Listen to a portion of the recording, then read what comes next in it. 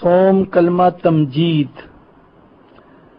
سبحان اللہ والحمد للہ ولا الہ الا اللہ واللہ اکبر ولا حول ولا قوة الا باللہ العلی العظیم ترجمہ۔